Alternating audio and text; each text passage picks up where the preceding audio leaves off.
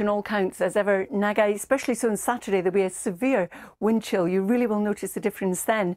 But I'm going to give you a heads up of what's happening really towards the end of this week and into the weekend. It is going to be cold. There's the risk of gales or severe gales, and some of us will see rain, sleet, or snow. So more on that in a minute. It's been a cold night, and you can see how through the course of today, the blues move across the whole of the UK. So it is going to turn colder than it has been. And these are the temperatures at the moment should you be just stepping out. Bridgefruit is in Cumbria, it's minus three. Sennybridge is in Wales, it's minus one. And you can see in Newquay in the southwest, it is plus seven at the moment. So some of us are starting off with a touch of frost. Some of us starting off with some snow. These snow showers have been steadily going through the course of the night across northern Scotland, dragged in on a cold northerly wind.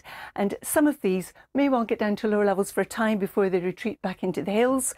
But if you're anywhere near a windward coast, that's where you're likely to see the showers. They could be wintry at times in the North York Moors and also the hills in Northern Ireland. But for the bulk of the UK today, as well as being a cold day, it's going to be a sunny one, it's going to be crisp, it's going to be dry, and it will be quite pleasant actually for this time of year. It's the kind of weather that you would expect at this time of year. Now, as we head on through the evening and overnight, the cloud will already have been gathering, bringing in some rain across the northwest. That's going to be sinking steadily southwards through the night.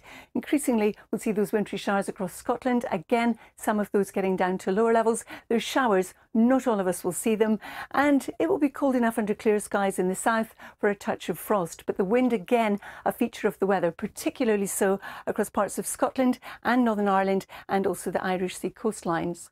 And if anything, as we head through tomorrow, it will continue to be so. Now, we've got this area of low pressure and its front sinking south. The exact position of where they land will determine what you get, where the strongest winds are, and if you see any sleet or snow. So tomorrow we start off with all that rain pushing away quite quickly by lunchtime. If we follow it around, it's wrapped around an area of low pressure. It's a weather front, and that's going to bring in more snow, increasingly to lower levels across the north and west of Scotland. Now, on Friday, the Met Office has a weather warning out for wind across Scotland, Northern Ireland, and parts of Northern England. We could have gusts 60 miles an hour, possibly 70 miles an hour. And you can see further showers as we push further south. Now, through Friday night and into Saturday, here's our low pressure. We still have this front wrapped around it. So, again, we're looking at snow showers, even at lower levels across parts of Scotland. And in some of the other showers dotted around, you will see some snow, but mostly on the hills. Still very windy, especially so out towards the west.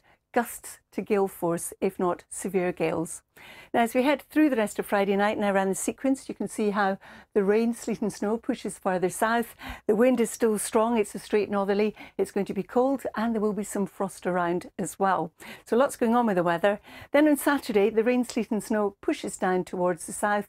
Still windy. Most of the showers are going to be across the North Sea coastline. Some of those could also be wintry, but we'll see a few getting into Wales and the southwest. But the Met Office has a yellow warning out for almost the whole of the UK on Saturday for the wind. The strength of gusts could potentially be damaging or disruptive, except for in the southeast. Now that could change, so do keep an eye on the weather forecast.